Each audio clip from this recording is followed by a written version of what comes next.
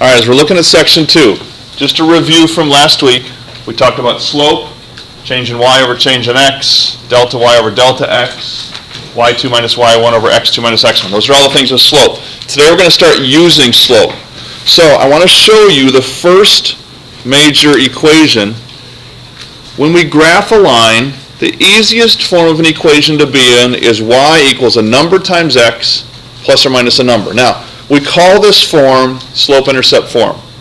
And the reason it's called that is because of our general equation down here in the box.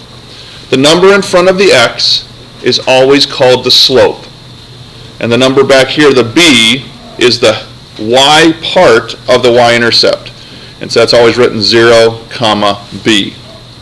Um, so just some, some really quick kind of overview.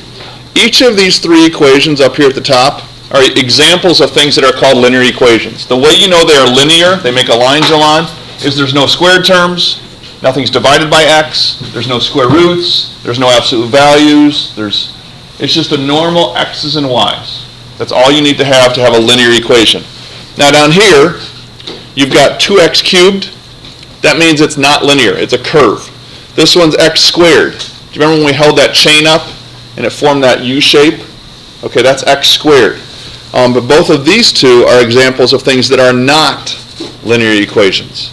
So when you're looking for a linear equation, you're looking for just x's and y's without any squares.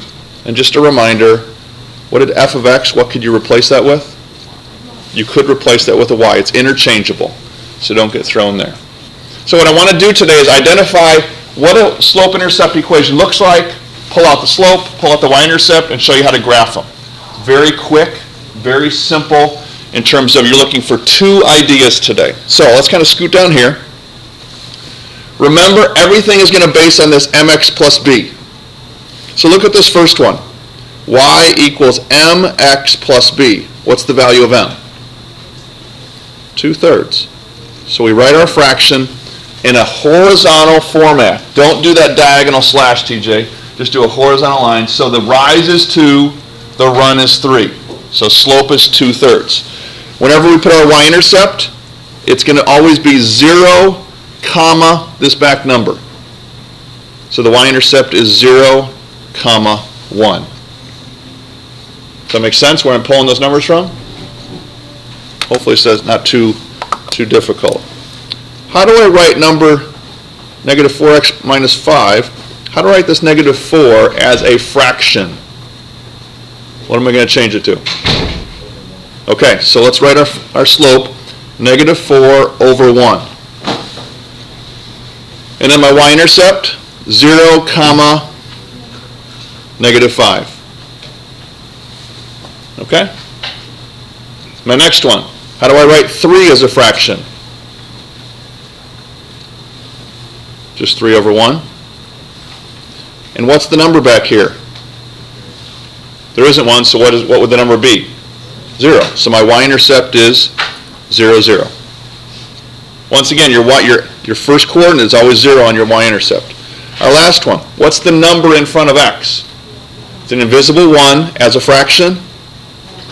1 over 1. My y-intercept? zero, six. Now, I disagree with the book's philosophy here, and so I need you to make sure that when you're writing a y-intercept, you're doing it as a point. Okay? Even though the book may give you a different kind of an answer, I want you to focus. Whenever you write the y-intercept, I want you to give me a point. Zero, comma, a number. So that's just a little bit of a, a big idea there. Always write as a point.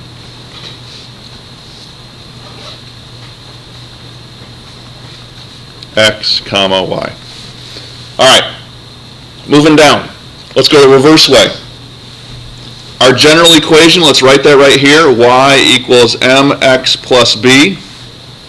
If m is 3 and b is negative 2, the equation very easily becomes y equals 3x minus 2. All you're doing is sticking them in. Okay? My second one, y equals what?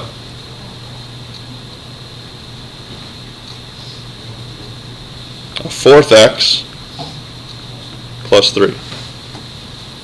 Okay? Just understanding the first, the first number in front of the x-act is the slope, the second number is the b value of the y-intercept. Now, let's start to move some applications. We have this graph down here, and we're asked to write an equation. Well, we need to understand what we do. We pull out.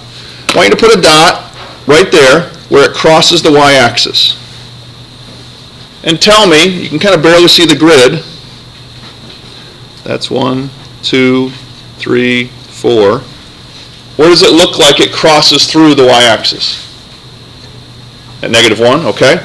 So the y-intercept is zero, negative one, based on what Brett said.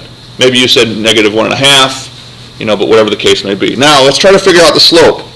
As you go from left to right, is it going up or is it going down?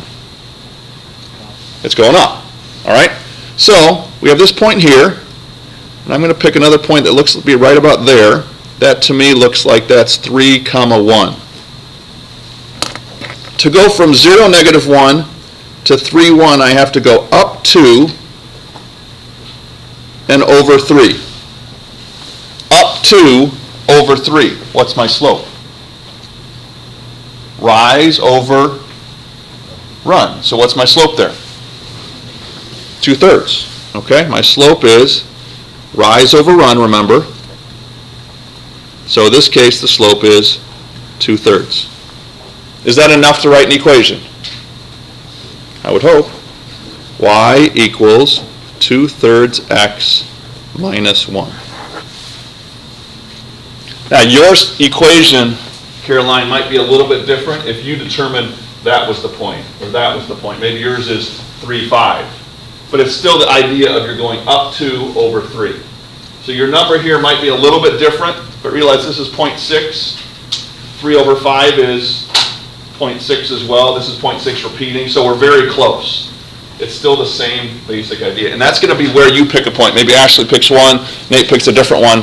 Just because one is right, one is a little bit off, doesn't mean they're wrong. It's just where you're perceiving this. So, as we're looking, the important point is identifying that y-intercept and then figuring out what your basic slope is. Okay. Questions so far? Any questions?